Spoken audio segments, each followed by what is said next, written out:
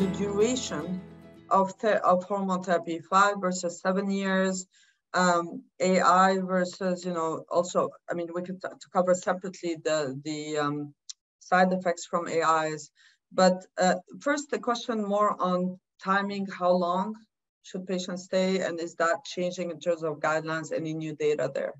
Mm-hmm. Yeah, this, this has been an active area of evolution over the past several years. So once upon a time, we gave five years of endocrine therapy to everybody. And then we began to see data from the trials that were looking at longer durations. The first trials that came out looked at five years versus 10 years. And those trials uh, used tamoxifen as the main medicine, mostly because the trials started so long ago that we weren't really using aromatase inhibitors as much. sorry, excuse me, it, it, takes a long time to do these trials. It takes decades. And so um, it reflects a little bit how treatment was when the trial was started. But the trials did show that patients who did 10 years of tamoxifen seemed to have an improved outcome, so less cancer recurrence compared to people who did five years. However, the longer someone stays on tamoxifen, the greater the risk of some of those rare toxicities. I alluded to blood clots as an example of that. And so there was a little bit more of that seen in the longer duration treatment.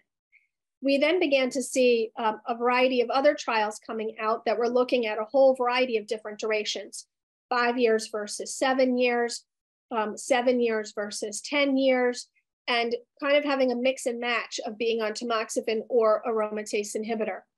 Um, at this point in time, the most relevant recent trial that has been presented um, is a trial actually from my, my colleagues in Austria. There's a wonderful breast cancer research group in Austria that does a lot of this important work.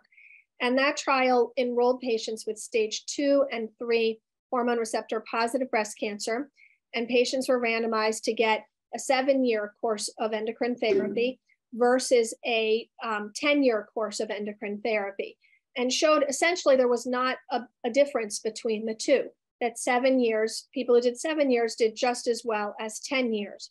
Now, the trial included many people who had negative lymph nodes, um, which generally um, we would think of as a somewhat lower risk population.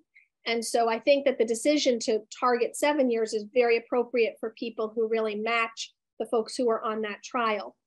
Um, and so we really try to tailor duration based on um, the stage of the cancer, like size and lymph nodes, the, the sense of risk from the cancer and the stage of the cancer, and also how's someone doing on their endocrine therapy? How's it going for them? Generally, for the majority of patients with stage one breast cancer, and so those are small node negative cancers, we're still recommending a five year course because once you extend beyond five years, the risk benefit ratio of those kind of uh, long term toxicities that begin to build with time begins to outweigh any extra benefit.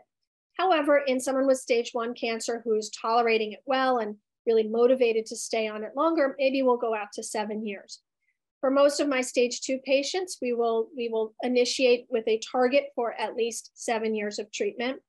And if someone has stage three disease, meaning they may have uh, multiple lymph nodes involved, I might still go towards 10 years. But again, it's all tailored based on how someone's doing. And if someone gets to five years and says, man, I've been working really hard taking this therapy and it's not been easy and you know but i made it to five years and i feel like i, I can't go any further then we say great congratulations you you know you you got a huge amount of work done. And you know we move on from there. So you know it's it, it's a partnership together and we make these decisions together